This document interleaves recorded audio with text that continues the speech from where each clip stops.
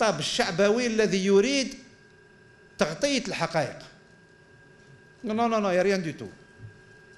الخطاب الشعبوي هذه يا إخوان بدون شتم أي كان في ال 85 وقد ترجعوا هذاك الوقت ما كانش تعددية الإعلام.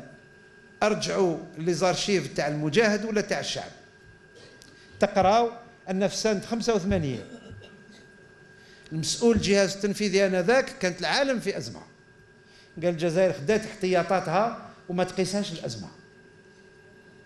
سبتمبر 86 طاح البرميل 6 دولارات انذاك